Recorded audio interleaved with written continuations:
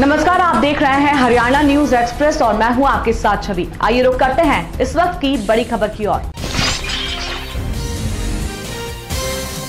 गुरुग्राम में bus stand के नज़दीक आचार्यपुरी के मानव उत्थान सेवा समिति के श्री हंस सत्संग मंदिर में सदगुरु देव श्री सतपाल जी महाराज की विशेष अनुकंपा से प्रभारी महात्मा मैत्रेय बाई जी की प्रेरणा से गैलेक्सी अपार्टमेंट सेक्टर तैरालीस गुरुग्राम के कम्युनिटी सेंटर में संत सम्मेलन का आयोजन किया गया।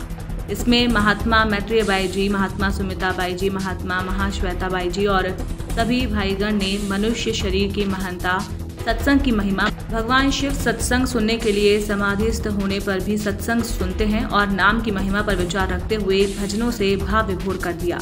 मानस सेवा दल के दीपक गोयल, संजय निहाल सिंह के के शर्मा समेत अन्य सैकड़ों प्रेमियों और पचास जिज्ञासुओं ने सत्संग का श्रवण किया। गुरुग्राम से हमारे editor in chief Rajendra Bhardwaj की रिपोर्ट। ज्ञान का न होना अज्ञान है, प्रकाश का न होना अंधकार है। अंधकार कोई चीज़ नहीं, लेकिन प्रकाश नहीं है। प्रकाश आया तो अंधकार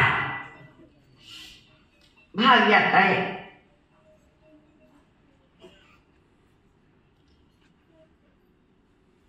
तो हमारे महापुरुषों ने इस समाज में आकर के उसी अज्ञान रूपी अंधकार को दूर करने की कोशिश की।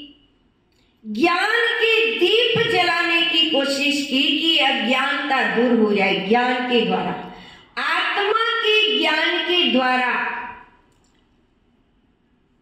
ये अज्ञानता दूर होती है। इसीलिए सभी महापुरुषों ने उसी अध्यात्म आत्मा की बात कही है कि सबसे पहले आप अपनी आत्मा की ओर जाओ, अपनी आप की आत्मा को जानो, पहचानो। अपनी आत्मा को जानना मतलब ईश्वर को जानना, अपनी आत्मा को जानना मतलब अपने आप को जानना। तभी तो कहा, अपन को आप ही में पायो। शब्द शब्द भयो उजियारो। सदगुरु भेद बतायो। अपन को आप ही में पायो। अपने आप को अपने अंदर ही पाया हमारे संतों ने।